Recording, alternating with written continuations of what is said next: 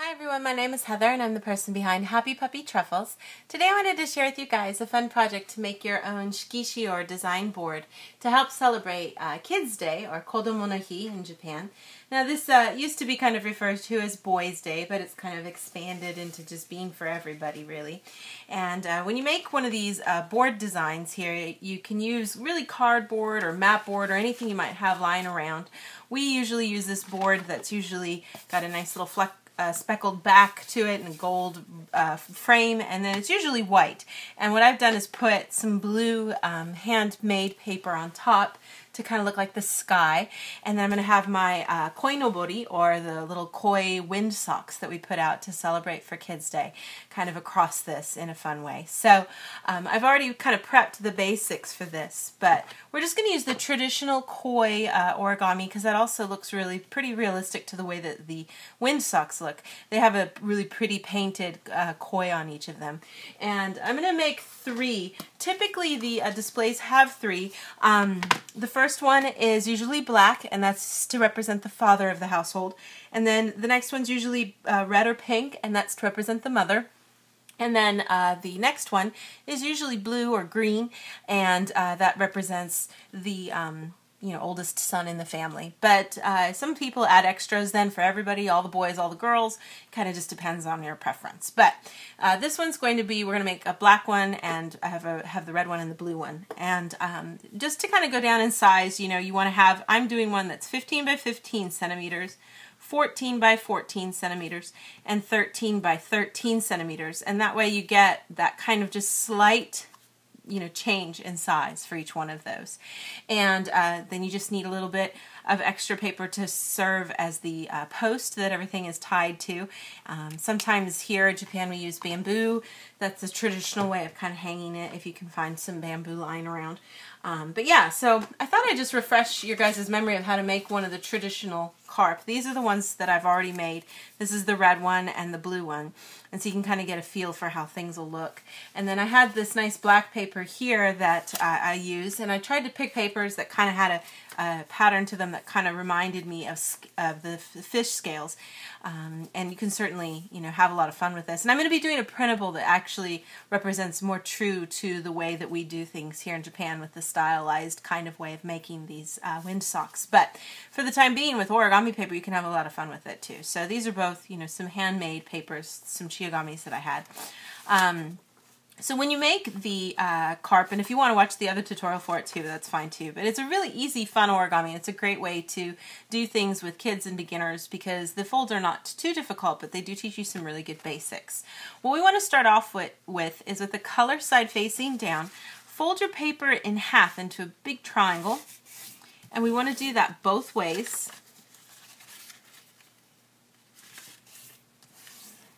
And then open it up I'm going to take this bottom right edge and fold it up towards that crease I just made. It helps to kind of start it down at the bottom, hold it there, get this next side, and then just crease it out. So keeping that lined edge even with the center, you get a nice little fold like this. And then I'm going to do the other side too. Sometimes it helps to turn your paper around. You don't have to keep it stationary on the paper. You know, make it move so that it's easier for you to fold. So you get something like this. Flip it over, and take the bottom part and fold it straight up to the top. Should be pretty easy. There's already a crease there. So flip it back over and we've got these nice little pockets here. What I'm going to do is open them up and there's already a crease started here. So this should be pretty easy. When you open them up and push them down, this little flap should come together really easily. Now you want to smooth the rest of this out right along the center crease that you can still see. Try to get as nice of a point as you can up there. Make a good crease on the edge and then do the same thing over here too. So we're just smushing everything down and sometimes with this, you know, fancier paper you do want to make sure you take a time to get a nice clean crease from that so that you don't wind up getting things pulling in the wrong way.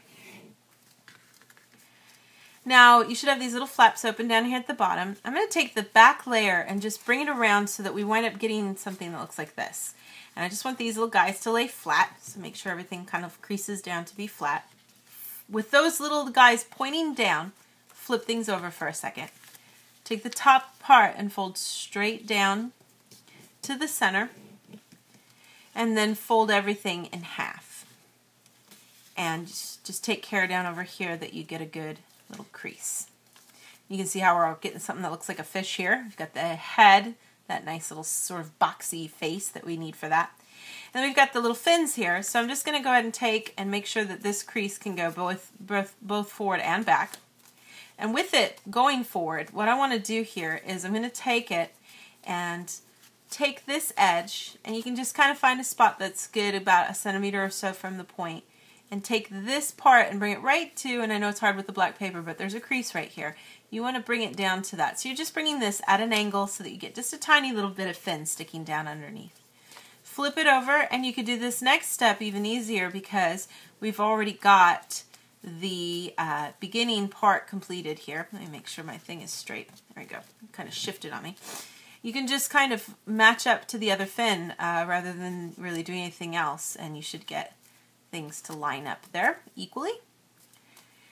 And then with the tail, if you hold the body and the head kind of in your right hand and open up the left side here, you can do a reverse crease by pushing up here and getting that part that's right now a valley, get that to become a mountain and kind of pinch on it a little bit. And then you can kind of adjust and play around with, you know, how far up this goes. You can change that. You just want a little bit of tail. You don't want a lot. Um, Because really, these windsocks, they're straight. So if you prefer, you can even leave this just long and straight, too. That's just a point of preference. I'm going to fold it all the way like traditional ways of the traditional koi, uh, just to get that to kind of come all the way up like so. And that gives me then my dad, my mom, and my little junior dude here hanging out. So um, once you guys get all those made, you might find it's good to kind of put a little bit of glue in the middle of these just because when we do this and we lay it flat, you'll notice this is not, you know, um, going to stay together very good because everything kind of has a tendency of kind of popping open. So I'll put a little bit of glue on that and maybe, you know, slide it underneath something that's uh, hard or uh, that's heavy for a little while to make sure it stays down. Or, you know, just kind of keep your fingers crossed so it doesn't pop open when you're working on it. I don't have a lot of time to get this to stick, so we might have some trouble with these guys popping out. We'll see what happens. These guys both just with a bit of glue.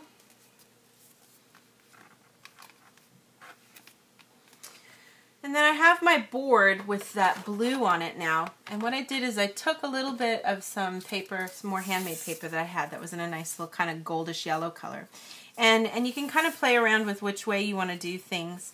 I, I'm going to kind of shoot for something that goes like this. And I have a little round bit too here to kind of serve as the top part.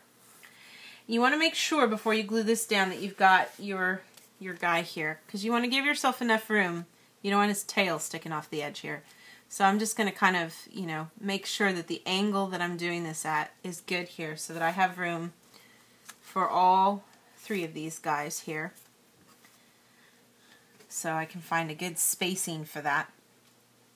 And then uh, once I kind of know what that is, I've got this part kind of long here and I want to try, let's see here, maybe I'll just try to simplify this so that I only have to make one edged cut if I can get this to kind of fold over. I don't even know, this might not be in my camera view here. But I've just edged, brought that edge over here so that I can cut my paper off.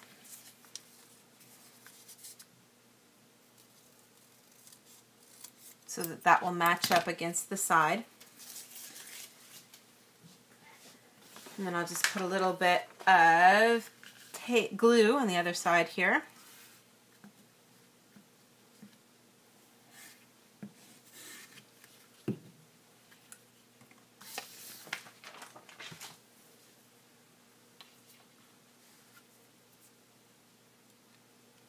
and you want to try to keep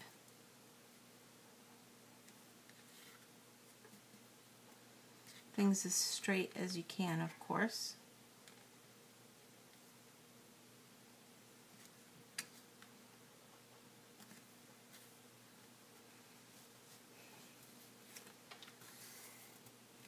And then I'll put a little bit here on the top too for this ball.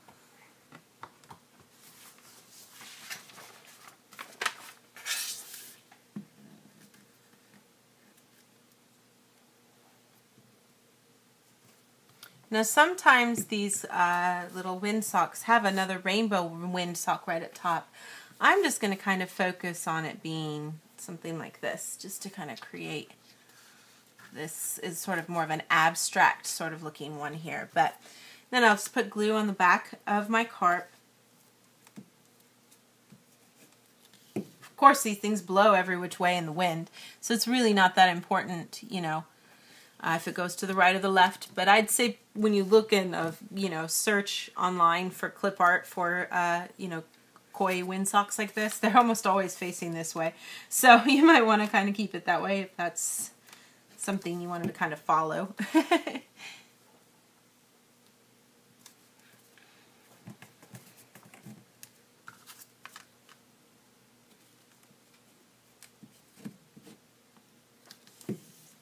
But in the end, you should get something that kind of looks like this. Your nice little family here.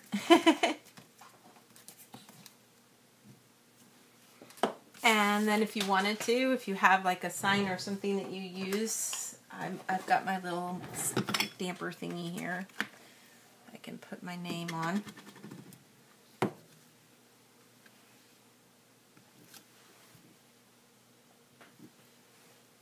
but should give you sort of a finished, kind of fun way to display the traditional koi. Uh, you can also, of course, do a more, you know, aquatic theme if you wanted to, but or I guess I don't you don't use that word when they live in the river. I don't know how that works. I should look into that and see. that the yeah, I mean it's uh, still water. That doesn't just refer to ocean. But anyways, there you go. That's your koinobori kind of uh, carp display, just sort of an abstract version of this. I will be having a more realistic project that you can do with my printables and a straw and some string to make your very own. So look for that too. And um, you know, just have a couple fun projects to share with you guys for Kids Day before we then go back to kind of focusing on things for Mother's Day too. So thanks again always so much for watching and I'll see you guys next time. Bye.